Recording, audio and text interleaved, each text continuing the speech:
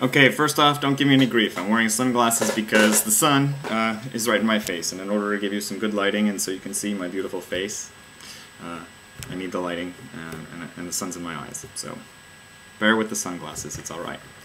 Anyhow, week four. Um, last week I thought my BlackBerry was dead for sure.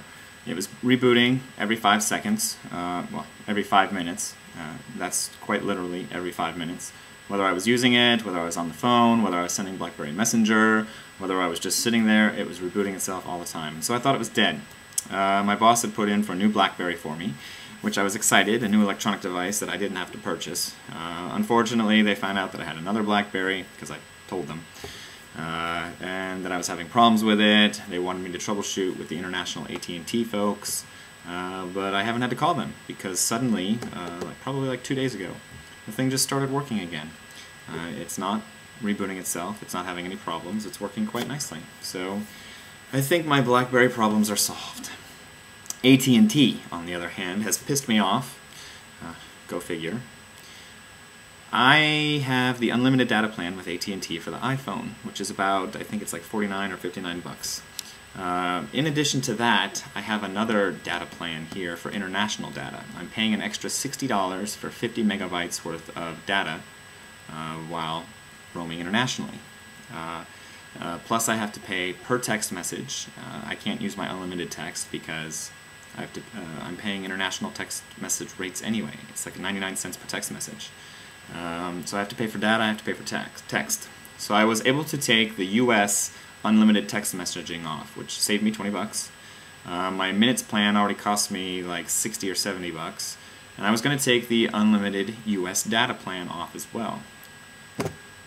They won't let you. You can't take uh, the unlimited iPhone data off even when you're not in the US and buying an international data plan. You have to have the unlimited uh, US plan and whatever additional international plan you want. So, ripping us off again. I swear I can't wait till the iPhone is on the Verizon network. Not that the Verizon won't, you know, rip us off somehow, but uh, I can't wait.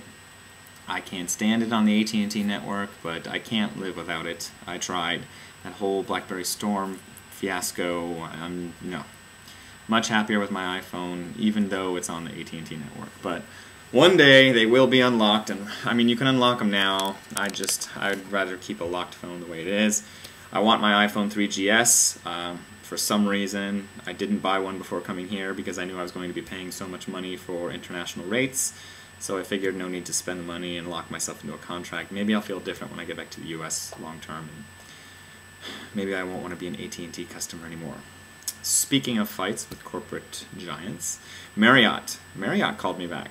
Uh, well, one of the one of the front office managers here at this particular Marriott called me specifically related to my internet complaint, my internet rant.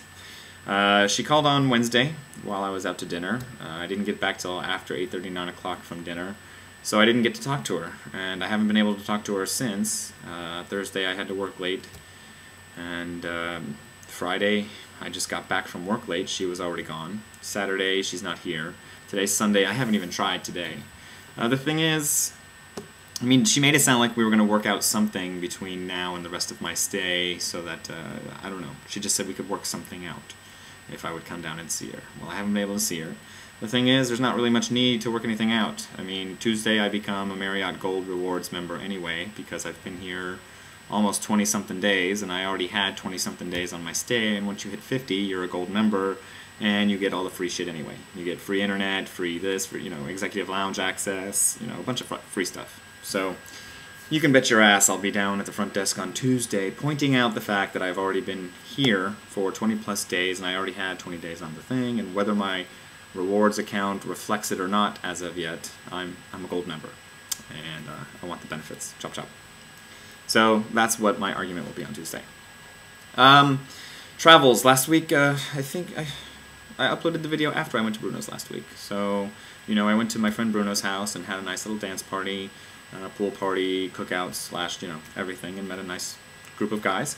Uh, Bruno's having another pool party today, so I actually bought a dessert this time. You know, I, am prepared and ready to go to Bruno's. Uh, I'm going to leave as soon as I'm done making the video, as a matter of fact. More time by the pool, more socializing, more French practice, which I have not done this week. Um, I couldn't take any more French in my ears. I just, um, I, I could. I just was lazy about it and was listening to music on the way to work instead, instead of my French lessons. Um, I have to, I don't know, recharge with my whole French lessons. I'm only on lesson three. I should probably be on like lesson five or six. Uh, had I spent some any amount of good time on it, I could probably be speaking some French to you now on my video blog. But uh, I just felt lazy. I wanted to watch some good old American TV, so I downloaded season two of Chuck from iTunes and watched the entire season over the last two weeks. Uh, it, it, was a really good season. I'm uh, I watched the first couple episodes last uh, when the when the season had actually started, and I, I wasn't impressed, so something else came on during the same time frame, and so I stopped recording Chuck. But now I'm glad I caught up with season two. There is going to be a season three. They're jipping us. They're jipping us. They're only giving us 12 or 13 episodes as opposed to 22. I'm kind of angry about that. But uh, I'm excited the direction it went and how they the how the whole character is developing. So I'm excited for season three of Chuck. Um, other than that, oh, I went to the Louvre. I had a good time at the Louvre, even though I got there late. I thought the Louvre was open till 10. Unfortunately, only the entrance to the Louvre is open till 10. Uh, the entrance is just another place where people like to go and hang out and dip their feet in the water. Uh, the, the, entrance to the Louvre is that big glass pyramid that you see in the Da Vinci Code uh, as he's entering the Louvre. I didn't know that that was the Louvre he was going into in the Da Vinci Code. Uh, I didn't know that that was the entrance to the Louvre. I actually thought that that glass pyramid and the Louvre were two separate items altogether. Not that they were in fact the same thing. Uh, stupid me. Now I know. I actually knew two days before I went. But, uh, while I, I, learned it while I was here in Paris. I was discussing it with a coworker, and he's like, um, "The glass pyramid in the Louvre. That that it's the same thing. That's what you, that's what you're going to see." So there's a whole bunch of stuff to see when you go to the entrance of the Louvre and take pictures of, and I was lounge, lounging around and doing that. And so I was I didn't actually start looking at the exhibits till five. Uh, I was halfway to the Mona Lisa, of course, one of the more famous paintings there in the Louvre.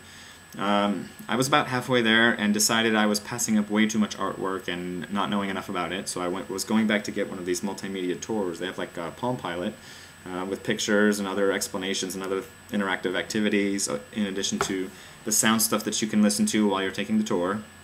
When I asked the guy about uh, renting one, he said the museum was closing in less than an hour, and I, I thought he was being a French asshole, um, but he wasn't.